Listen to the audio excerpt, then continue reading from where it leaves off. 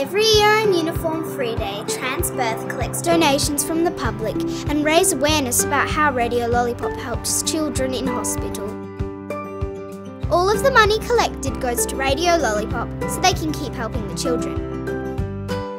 Uniform Free Day this year we raised over $110,000 and uh, you know, it was just amazing the support from uh, Transperth and uh, also the support from people using Transperth and, and the people of Perth uh, donating. Every cent goes towards uh, our operating cost. Pens, pencils, colouring in, every cent goes into making the kids smile.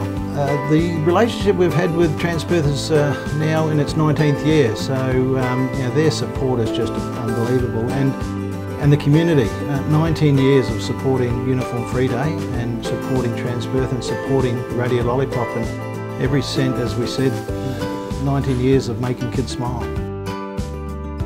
We're going to move to the new hospital, um, so yeah, we need some funds for that. However, the, uh, the funds from Uniform Free Day goes directly into everything that we do, the day-to-day -day operations of Radio Lollipop and making the kids smile. Because of your help, Radio Lollipop can set up our new studio and keep doing the very important work in supporting children when they're in hospital. So to all the volunteers and all generous people who donated to help support Radio Lollipop. We want to say a very big thank you! Thank you! Thank you! Thank you! Thank you! Thank you! Thank you!